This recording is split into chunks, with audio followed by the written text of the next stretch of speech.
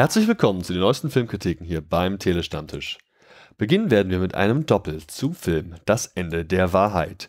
Und zu Das Ende der Wahrheit weiß ich persönlich gar nichts, außer dass da Alexander Fehling, den ich ja selbst persönlich auch schon mal im Interview hatte, zum Film Drei Zinnen der hat jetzt die Lola bekommen als Auszeichnung für eben seine Tätigkeit bzw. seine Leistung dort beim Film Das Ende der Wahrheit. Das haben diesmal besprochen der Pascal und der Stu von Movie Break.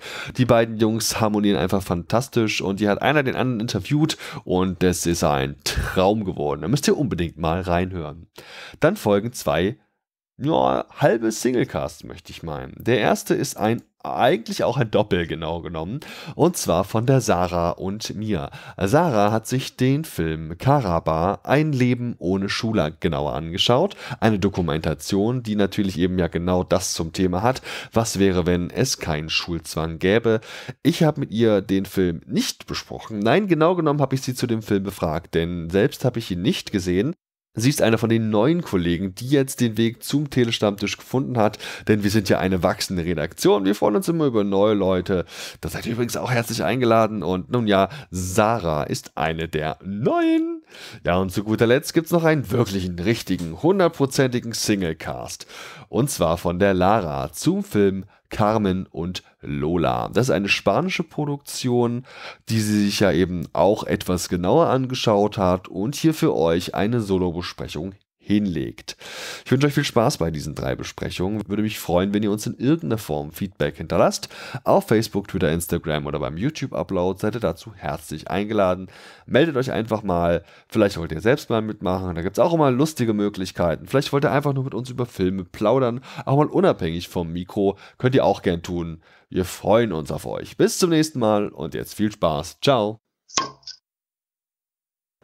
Hallo und willkommen beim Telestammtisch. Heute zu einer Besprechung von Das Ende der Wahrheit. Der Film startet am 9. Mai mit einer FSK 12 Freigabe in den deutschen Kinos, ist ein Thriller mit 105 Minuten Laufzeit. Regie und Drehbuch Philipp Leinemann und zu der Besetzung gehörten unter anderem Ronald Zerfeld, Alexander Fehling, Claudia Michelsen, Axel Prahl, Antje Traue und nicht Pascal. Hallo Pascal. Hallo. Aber Pascal, im Gegensatz zu mir hast du dir den Film angeguckt? Jawohl. Und das heißt, äh, auch nur du kannst uns jetzt ganz grob verraten, worum geht es eigentlich. Jawohl. Also es geht um einen ähm, Experten für zentralasiatische Angelegenheiten, äh, der Martin Behrens heißt und beim BND arbeitet und ähm, in einem Gespräch beziehungsweise in einem Verhör mit einem Asylbewerber kriegt er ähm, Informationen über einen Terroristen raus. Und diese ähm, Informationen gibt er an die Amerikaner weiter und die machen dann einen Drohnenanschlag auf den Zielort, wo dieser Terrorist sich aufhalten soll. Kurze Zeit später gibt es einen Anschlag in einem Café in München, wo auch eine deutsche Journalistin stirbt.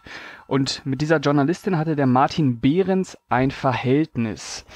Und ähm, nachdem er eigentlich aus voller Überzeugung für den äh, Nachrichtendienst gearbeitet hat, fängt er nach dem Anschlag langsam an, seinen Job und die Strukturen dahinter zu hinterfragen und äh, ja, begibt sich auf die Spur einer Verschwörung.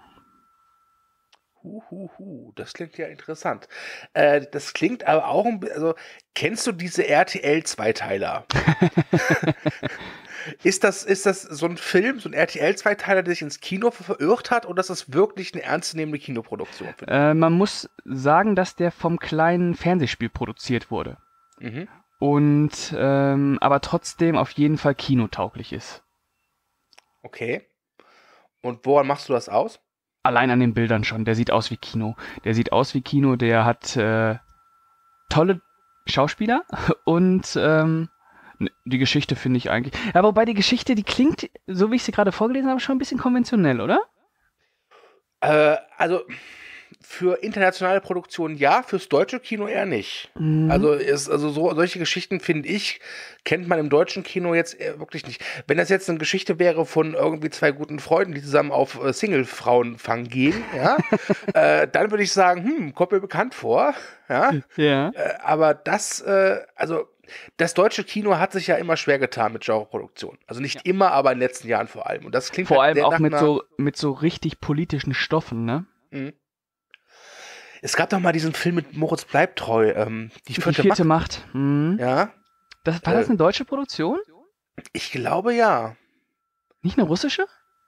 Also er spielte in Russland, aber ich glaube, das war eine deutsche Produktion, wo vielleicht auch ein bisschen russische Fördergelder mit eingeflossen sind, das weiß ich jetzt nicht. Ja.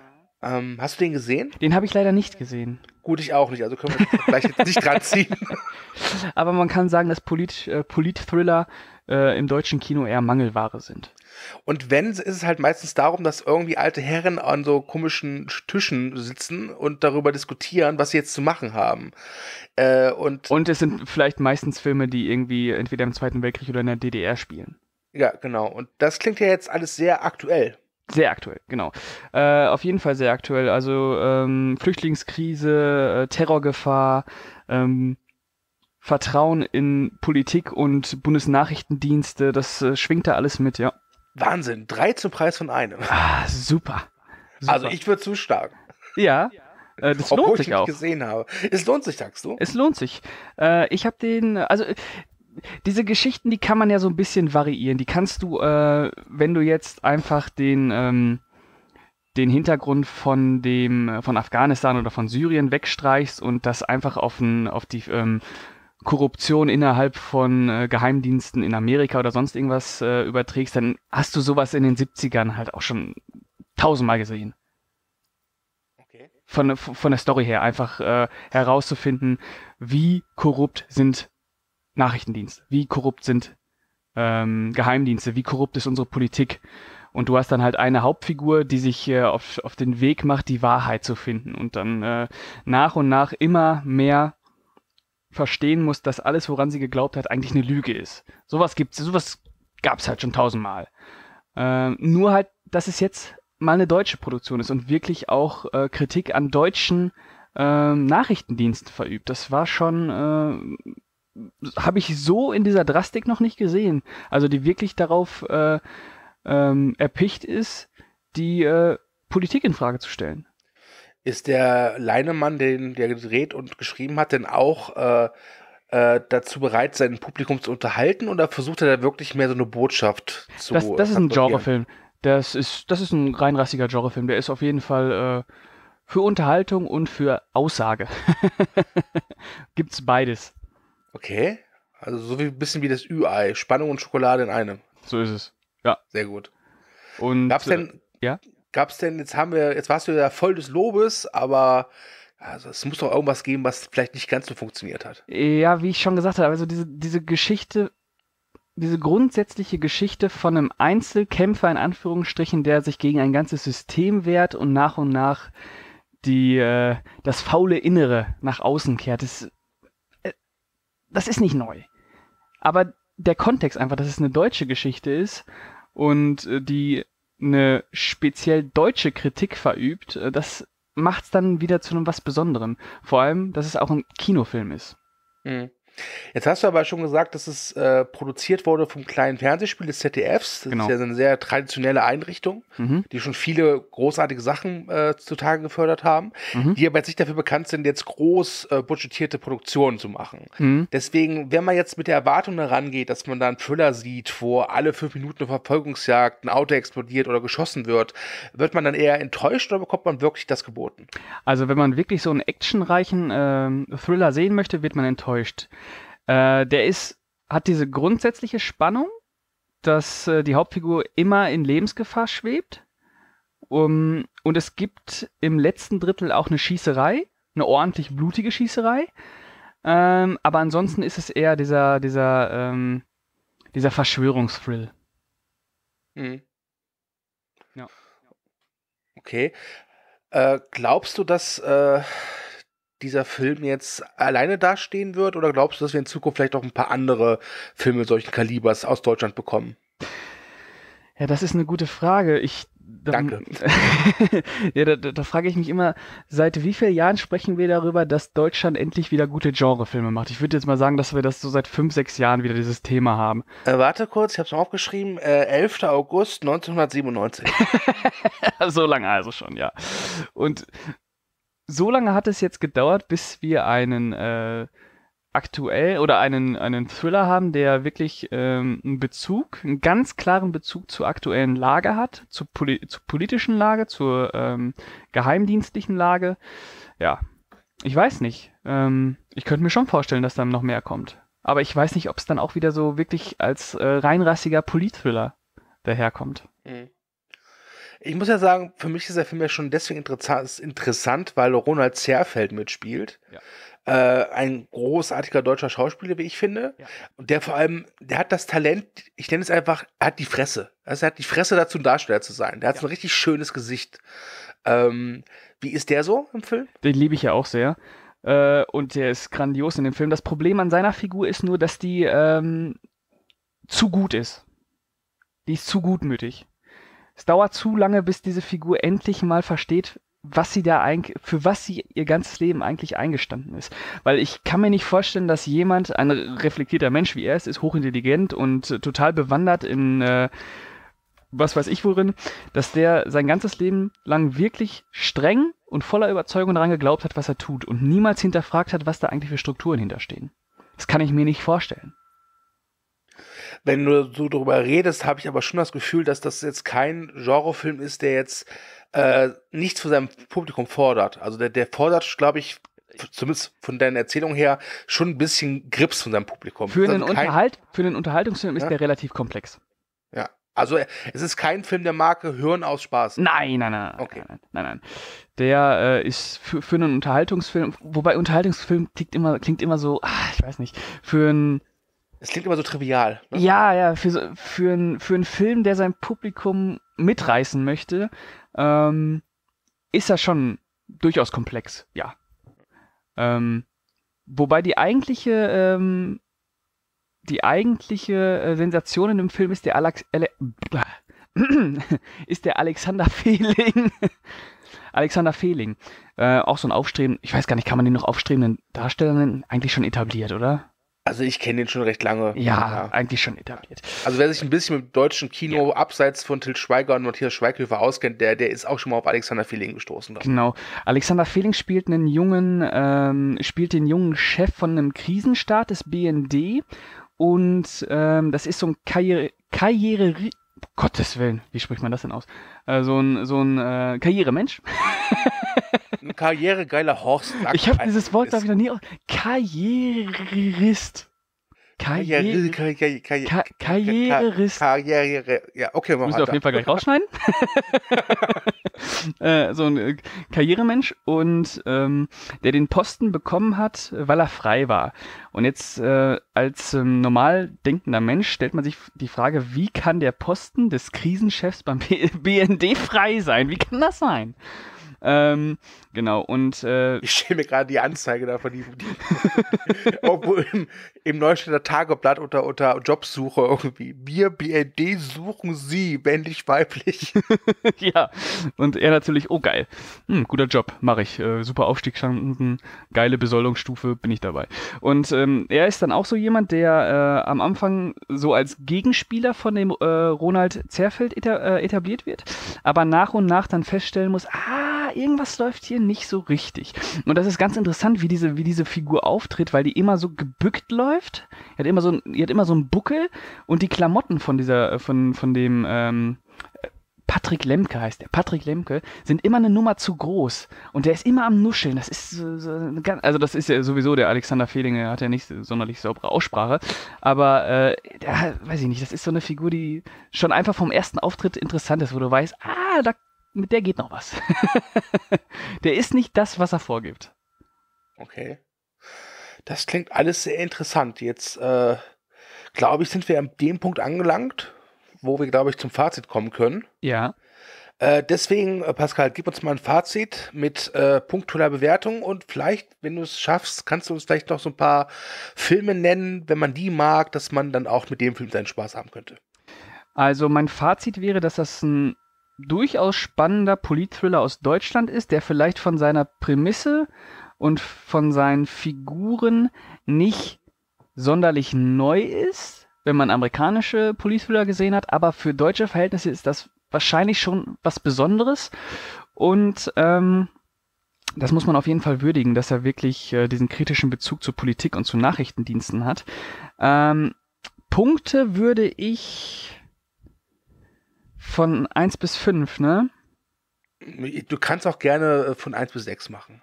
Ausnahmsweise. von 1 bis 6? Ne, ich mach mal von 1 bis 5 und gebe 3,5 von 5. Okay. Ähm, und vergleichbare Filme. Machtlos mit Jack Gyllenhaal und Meryl Streep. Sehr guter Film, ja. Ähm. Also, schön, wenn ich mich einmische. Ich habe den für mich gesehen, also jetzt den, mit dem wir gerade sprechen, aber ich habe vor einem Jahr die Neil Hilton-Affäre gesehen. Okay. Ich glaube, der würde da auch ganz gut reinpassen. Okay. Und äh, vielleicht einfach ähm, im Labyrinth des Schweigens, auch mit Alexander Fe Fehring? Fe Fehling? Fehling. Fehling in der Hauptrolle. Äh, da geht es darum, ähm, um die Auschwitz-Prozesse. Äh, hat natürlich äh, mal wieder diesen Zweiten Weltkrieg, äh, Weltkriegsbezug, aber der ist auch sehr gut. Den empfehle ich jetzt einfach mal, weil ihn zu wenig Leute gesehen haben. ja, das stimmt. Großartiger Film. Dann empfehle ich noch TKG 2. Ja. Und dann sind wir durch für heute. Sehr gut. Okay. Ja, Pascal, ich danke dir für deine Meinung ähm, mhm. und äh, wünsche dir noch einen schönen Abend. Ich dir auch. Danke. Tschüss. Tschüss. Herzlich willkommen zur Besprechung der Dokumentation Karaba. Hashtag Leben ohne Schule. Der hat natürlich keine Altersbegrenzung, eine Laufzeit von einer Stunde 32 und kommt jetzt ganz bald am 9. Mai 2019 ist es, glaube ich, in die deutschen Kinos. Und ja, von was er eigentlich handelt, kann ich erneut absolut nicht sagen, aber glücklicherweise haben wir beim Telestammtisch viele, viele, viele, viele neue Kollegen. Wir sind inzwischen, wie gesagt, eine Redaktion aus fast 30 Leuten, die regelmäßig Filmbesprechungen macht. Und diesmal war die Sarah so nett, den Film für uns anzuschauen. Hi Sarah. Hallo. Guten Tag.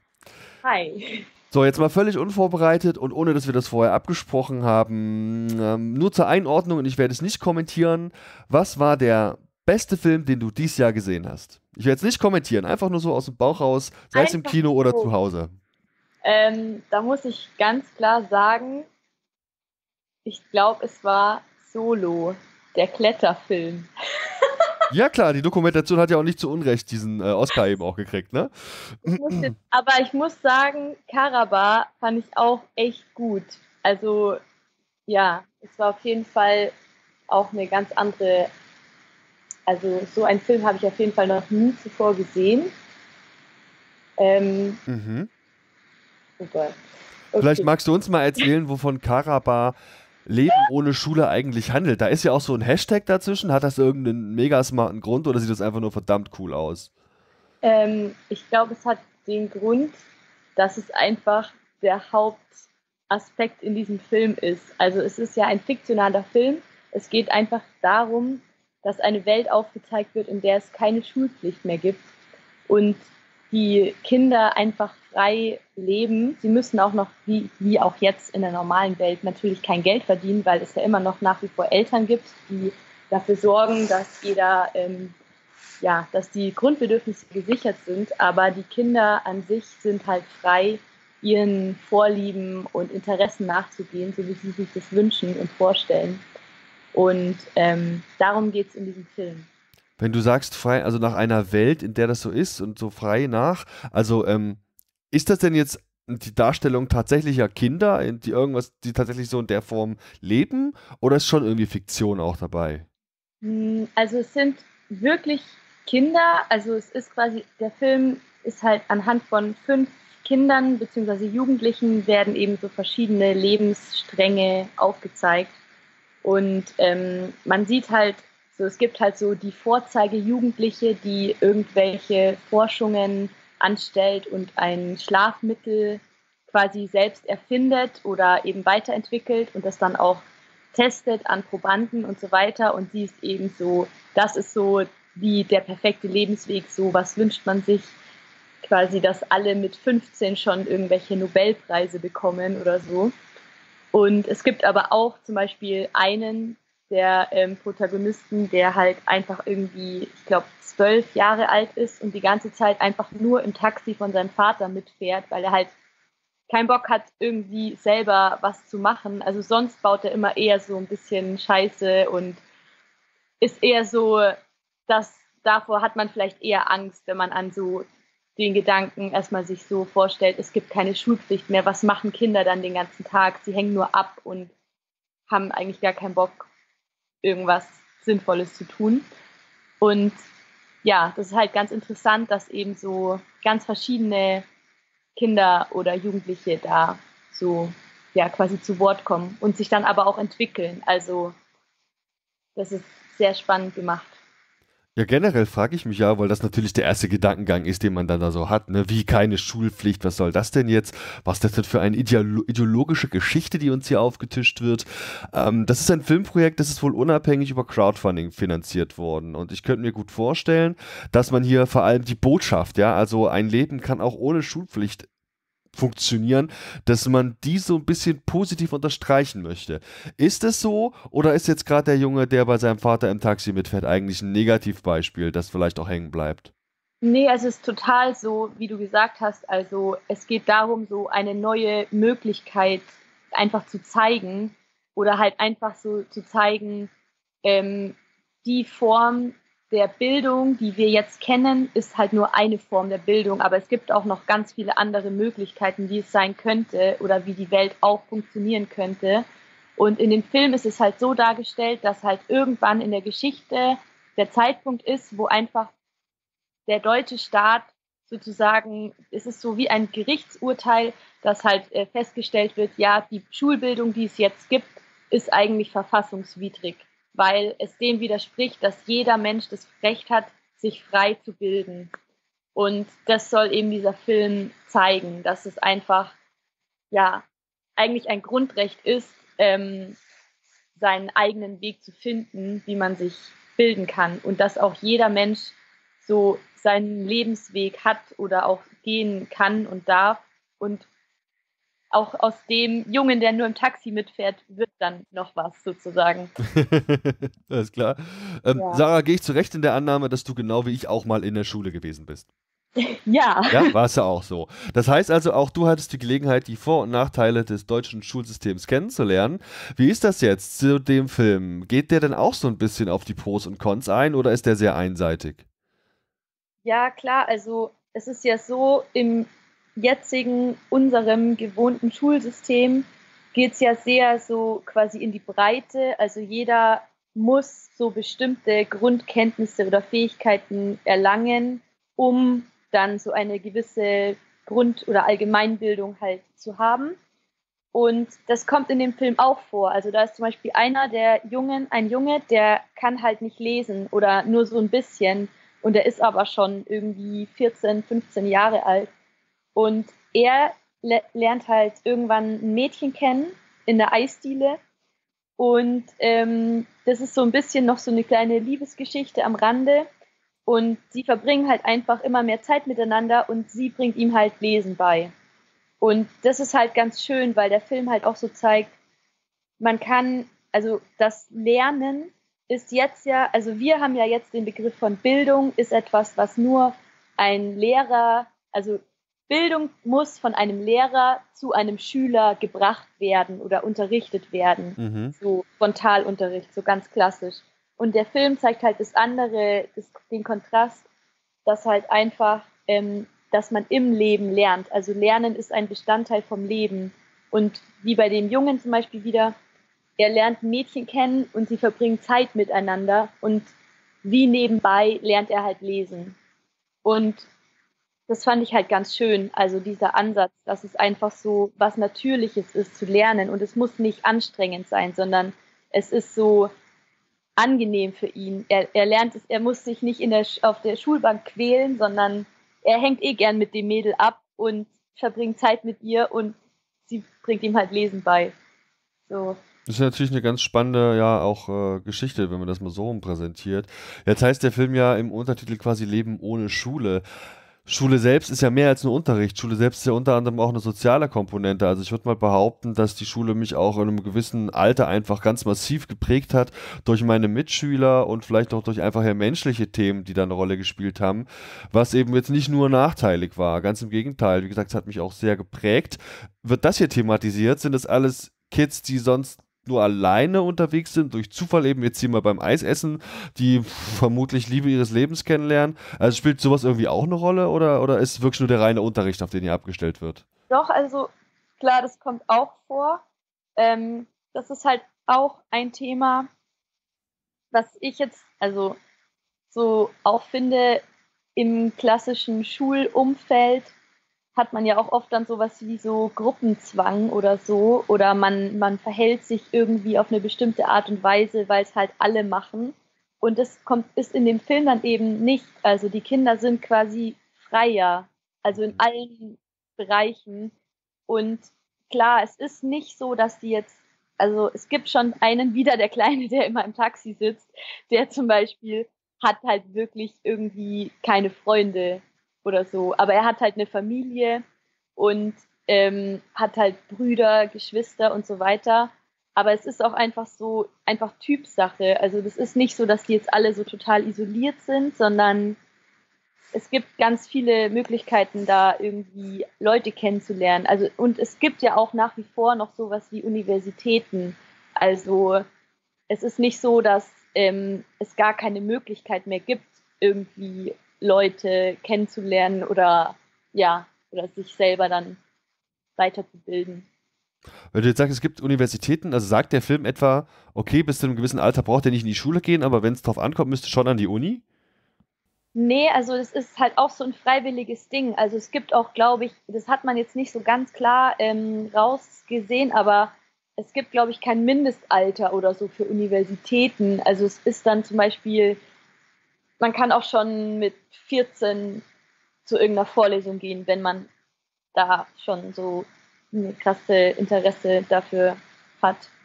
Okay. Ähm, ja, also es ist kein, wie gesagt, es ist so, es gibt auch, also es gibt alles, wie es halt jetzt auch ist. Also es gibt Ausbildungen, es gibt Universitäten und es ist ja jetzt auch so, dass nicht jeder studiert. Also ja, definitiv, genau. Also das hat natürlich dann schon, aber das, die, die Schulpflicht geht ja auch nur bis zum, ich glaube, 16. Lebensjahr, soweit ich weiß. Alles andere danach ist ja irgendwie freiwillig. Ähm, zumindest im gewissen Rahmen will ich mich aber auch nicht festlegen und ich wäre nicht ja. überrascht, wenn das wieder bundeslandspezifisch ist. Also habe ich besser nichts gesagt. ähm, gibt es denn noch generell Szenen in der Doku, die du ansprechen möchtest, die dir besonders im Kopf geblieben sind? Hat der Film vielleicht aufgrund dieser Szenen oder insgesamt jetzt auch eine Wirkung auf dich, sodass du sagst, hier, äh, also ich schicke jetzt hier garantiert niemand mehr in unser Schulsystem. Hat der, gibt es irgendwie noch Punkte, die du noch ansprechen möchtest? Ja, also was ich halt noch, also was mir halt noch besonders aufgefallen ist, ist halt auch, dass ich dadurch, dass sich das Schulsystem geändert hat, auch so dieses normale, traditionelle Familienbild ein bisschen aufgelöst hat, weil einfach, es gibt auch so der Begriff Wahlverwandtschaft, fällt auch in dem Film.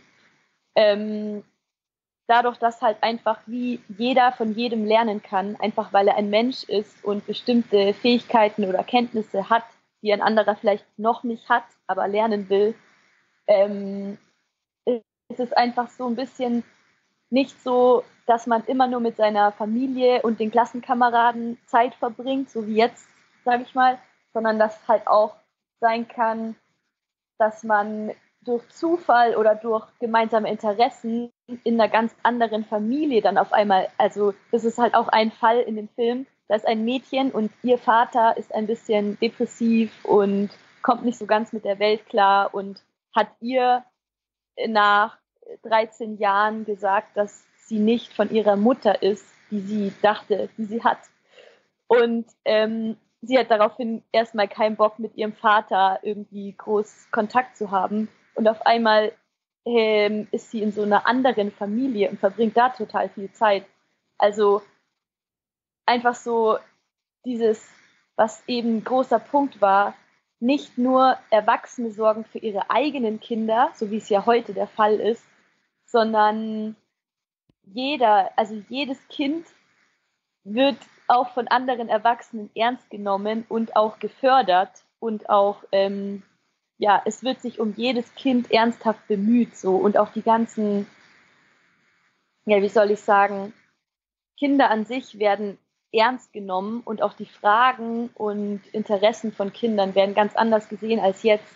Also da ist zum Beispiel auch eine Szene, da ist die, ähm, das Mädchen, die ähm, das Schlafmittel erfindet, die sitzt irgendwo in so einer Art, ich weiß nicht genau, Jugendherberge oder so.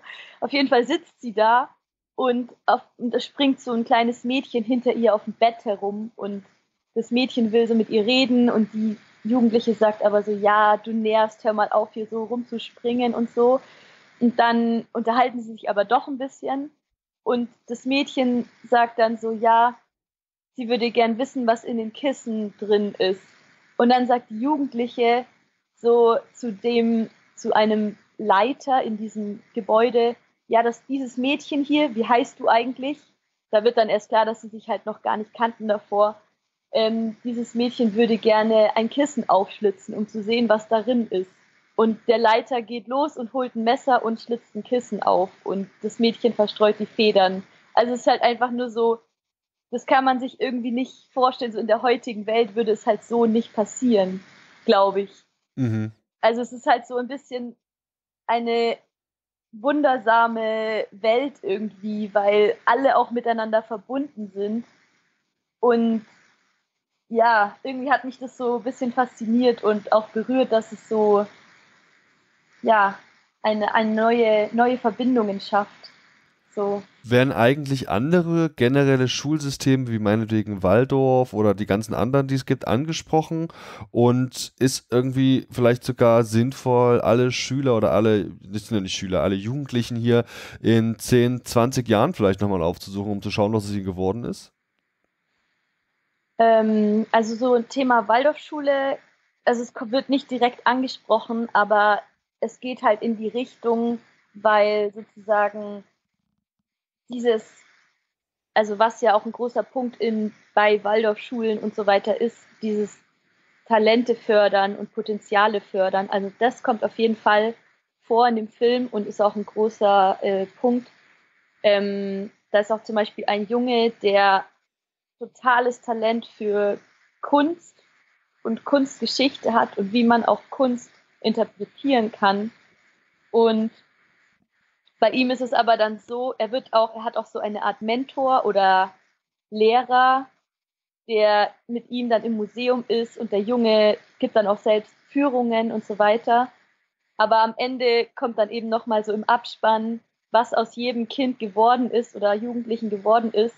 Und dieser Junge wird zum Beispiel dann später einfach Schiedsrichter für Basketballgruppen äh, oder so. Also es ist halt auch so, es, man muss auch nicht das beruflich machen, was man als Talent hat oder so. Also es ist halt so, wie so, alles ist möglich einfach. Okidoki, dann kommen wir, glaube ich, jetzt mal zum Fazit. Oder gibt es noch Punkte, die du vorher ansprechen möchtest? Ich fand es insgesamt eher so, ich kann noch sagen, so positive Atmosphäre, positive Stimmung, auch musikalisch. Also es war so, ja, ganz, ganz schön, kann man sich ganz schön äh, anschauen. So. Alles klar. Gut, dann würde ich dich am Ende gern noch um ein Fazit bitten, wo du zum einen irgendwie auf der Punkteskala zwischen 0 und 5 Punkten, wo 0 eine ziemliche Katastrophe und 5 ein absolutes Meisterwerk ist, irgendwie versuchst eine Einordnung zu machen. Du kannst auch gern Viertel, halbe, Dreiviertel, hast du nicht gesehen, Punkte geben, also vorher frei. Und wenn du möchtest, eben auch noch eine Empfehlung für eine Zielgruppe abgeben.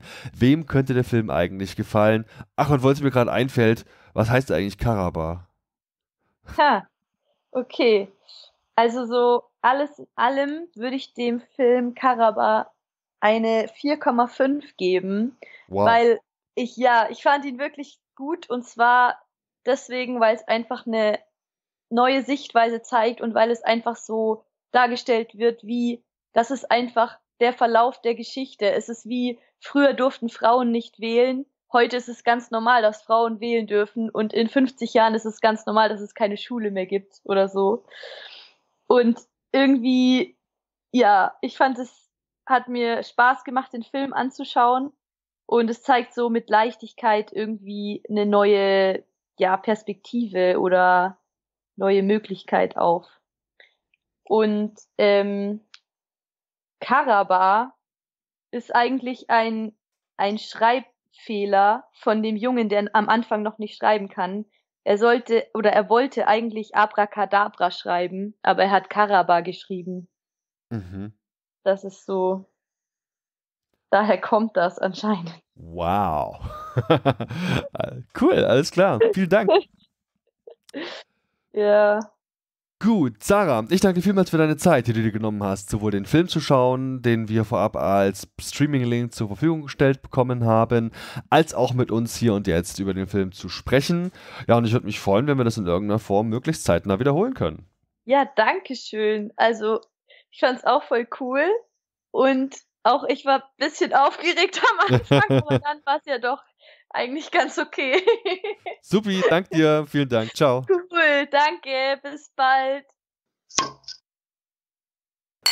Herzlich willkommen beim Telestammtisch. Ich bin die Lara und wir reden heute über den Film Carmen und Lola. Carmen und Lola ist eine spanische Produktion. Die Regisseurin dahinter ist, und ich möchte mich entschuldigen, ich werde diesen Namen komplett falsch aussprechen, Aran, Arandaxa Ecaviaria die zwei Hauptrollen. Einmal die Carmen wird porträtiert von Ros Rosi Rodriguez und äh, die Lola wird porträtiert von Zaira Romero. Ja. Kurzum, dieser Film ist über zwei Frauen, die aus der spanischen Roma-Community kommen, also Gemeinschaft. Äh, die, die sogenannten Gitanos oder Kalle, wie sie sich selbst nennen. Und die sich halt ineinander verlieben, was dort alles andere als üblich ist, wenn auch ich würde mal sagen, stark verböhnt. So, die Geschichte fängt damit an, dass Carmen halt gerade einen Antrag bekommen hat von ihrem Freund. Sie ist sich überhaupt nicht bewusst, dass sie auch auf Frauen steht oder dass sie dem Falle auch auf, auf eine Frau stehen wird. Man kann es jetzt so nicht so sagen. Es wird nicht in solchen Termini quasi geredet, von wegen hetero, homosexuell, wie auch immer. Auf jeden Fall ähm, bereitet sie sich gerade auf ihre Verlobung vor. Dann haben wir auf der anderen Seite Lola, die fast 17 Jahre alt ist, die sehr, aus einem strengen Haushalt kommt, dass ein Vater, der überhaupt nicht einsieht, ähm, dass ihr, dass seine Tochter irgendwie eine höhere Bildung braucht oder was anderes machen soll, außer heiraten, Kinder produzieren und ähm, beim Marktstand helfen. Äh, die Mutter versucht da so ein bisschen gegenzuarbeiten die Mutter ist selbst Analphabetin äh, und hat halt ein bisschen darunter leiden müssen, dass ja, sie da nie rauskam. Auf jeden Fall, Lola weiß ganz genau, dass sie auf Frauen steht. Ähm, man sieht sie auch immer wieder mal chatten in einem Chatraum, wo es halt darum geht, dass sich dort Frauen treffen. Und sie lernt Gamen als Zufallsbekanntschaft auf dem Markt kennen, dass es anfängt zu regnen und äh, sie halt alles abdecken müssen und sie muss das Plastik von ihr leihen, so. Und dann fängt es so ein bisschen an, dass, dass Lola immer wieder kaum mal folgt. Sie sieht sie dann wieder auf deren Verlobungsfeier mit ihrem Verlobten Rafa. Und ja, es ist halt, es ist eine Liebesgeschichte, die sich so ein bisschen entwickelt. Lola weiß von Anfang an, sie ist verliebt in Carmen und Carmen findet zuerst so, ja, ist eine nette Freundin und dann als es dann so ein bisschen konkreter wird, schlüsst sie sie direkt weg, sagt dazu gehör, ich bin nicht lesbisch, ich stehe nicht auf Frauen, du bist anders als ich. Aber trotzdem lässt sie sich halt in dieses Verführungsspiel, was letztendlich Lola auch ein bisschen spielt, die eigentlich selbst keine große Erfahrung hat, aber auf halt auf Carmen steht, lässt sie sich da ein. Und dieses Verführungsspiel und dieses Liebesspiel von, von, ah, ich lerne dich kennen, ah, da entwickelt sich ein bisschen mehr, ah, wir verstecken das vor unseren Eltern und Familien, das ähm, zieht sich durch den ganzen Film. Also es zieht sich durch sehr, sehr große Teile des Films. Und jetzt kommt der Spoiler. Das läuft natürlich nicht gut. Sie werden natürlich entdeckt. Und zwar entdeckt die Mutter von Lola einen Liebesbrief von Lola ankamen. Und selbst die Mutter, wie gesagt, ist Analphabetin, kann aber eigentlich, kann trotzdem ganze Sätze lesen und sieht natürlich, ja, ich liebe dich, Carmen, und kann es lesen und sagt, hey, wie, wie kann das sein? Wer sagt mir, dass das nicht wahr ist?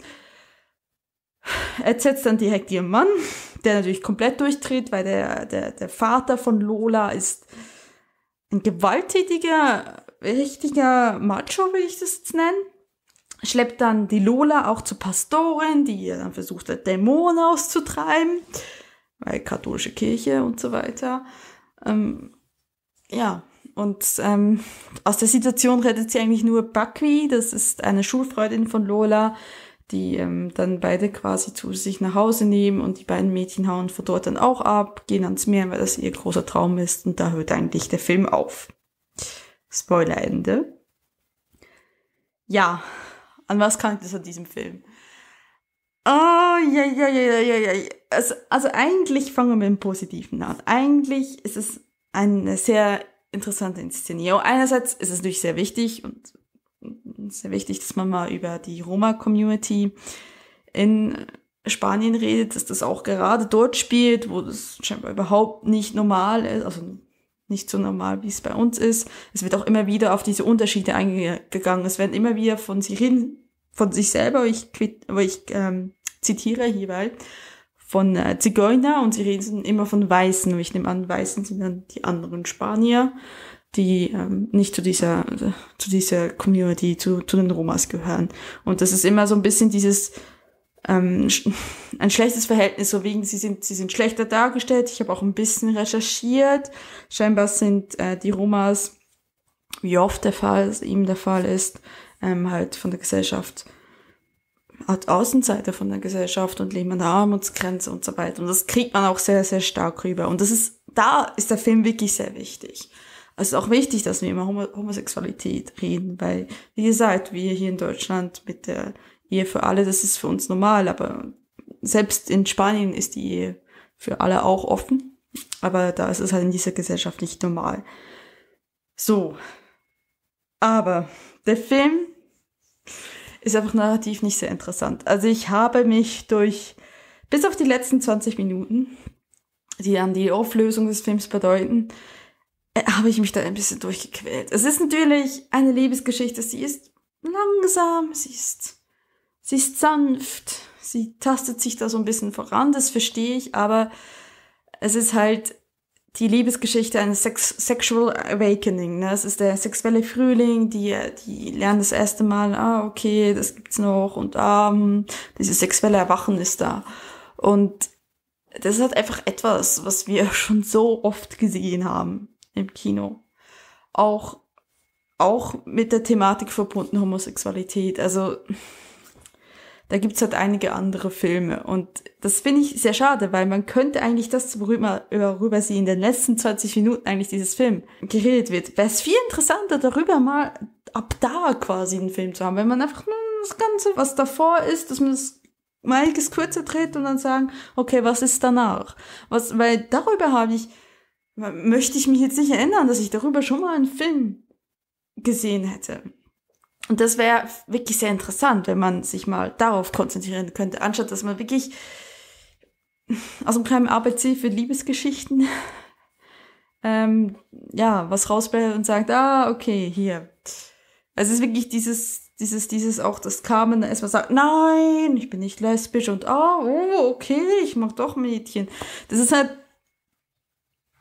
das ist halt nichts Neues. Das ist wirklich nichts Neues. Das ist wirklich nicht sehr originell. Ja, und da könnte man definitiv noch mehr machen, weil ansonsten ist er gut umgesetzt. Es ist eine Art mit der Kamera, es ist ein bisschen sehr shaky manchmal. Es sind sehr interessante ähm, Kameraeinstellungen und mm, es ist sehr atmosphärisch, sehr nah. Aber er hat nicht sehr originell. Ich will diesem Film 3,25 Punkte geben. Die zwei fünf Punkte hat er sich wegen den letzten 20 Minuten eingeholt, wo sie nochmal noch mal die Pauke schlagen, ja. Nochmal ordentlich Gas geben. Aber, ja, ja. Mehr kann ich auch nicht geben mit gutem Gewissen. Es ist, es ist kein schlechter Film, es ist auch ein wichtiger Film. Es ist nicht oh, bisschen origineller, Leute. So, ja.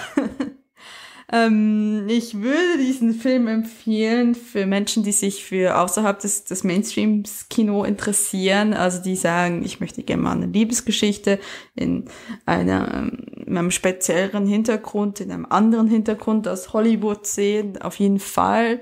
Ähm, die sich halt so für das, ich würde es jetzt Kulturkino nennen. Ich glaube, das ist auch der Ausdruck. Also auch die sich so ein bisschen für ähm, das Kunstkino interessieren, wobei so sehr Kunst ist er dann nicht. Ihr wisst, was ich meine. Arthouse ist das, ist das Wort, was ich suche. Das Weltkino, ja. Auf jeden Fall. auf jeden Fall, äh, es ist sicherlich ein Film, den man sich gerne angucken kann. es hat ein langsamer Film und wie gesagt nicht sehr originell an manchen Stellen. Ähm, ja, aber es ist trotzdem ein wichtiger Film und natürlich müssen wir solche Filme auch in unserer Reihen haben.